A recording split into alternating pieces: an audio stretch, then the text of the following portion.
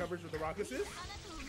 Stop it, Cody! You can't be me! But if you close your eyes,